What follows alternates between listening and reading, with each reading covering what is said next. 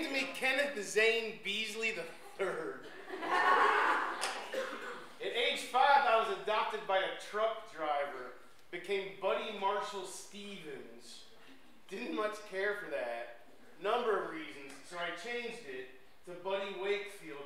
My name is Buddy Wakefield. I am part saint, part fraud. Being human has been a largely humiliating experience.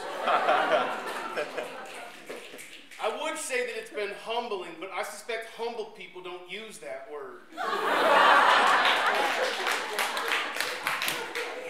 humble up, Buttercup. We got ourselves some friendly names, don't we? We got ourselves in a pickle, friends. There are no stunt doubles performing the devastation and losing everything. Maybe we are losing everything on purpose. There's a good chance I'm a bad person trying to do something right. It turns out everyone is right. It turns out we are happening so fast, y'all. The whole world so fast. Yesterday, I was 23. The day before that, I was nine. And none of the soured relationships were worth my need to be right.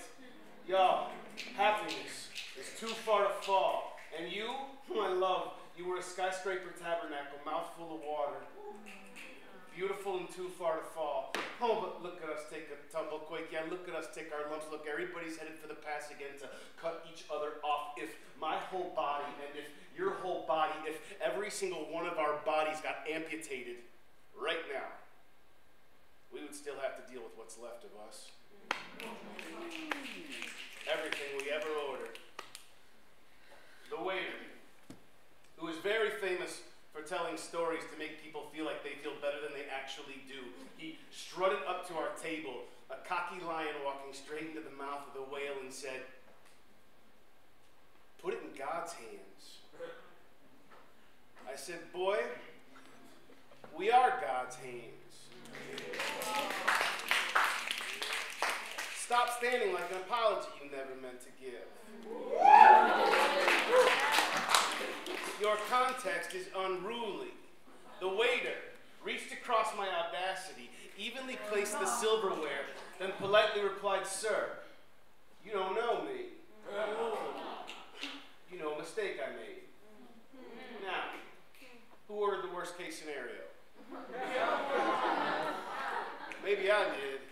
Maybe you. Maybe on purpose until everyone in the whole world found out everything we were ever terrified of being found out about, and no one was impressed with our nightmare. Y'all, air does not have an ego. Pay attention then. When it enters and exits, each one of us feels desire inside them and can point to it on a map. Stop acting like you don't know which direction your life is going. It is hysterical, Los Angeles, pretending to be something you're not.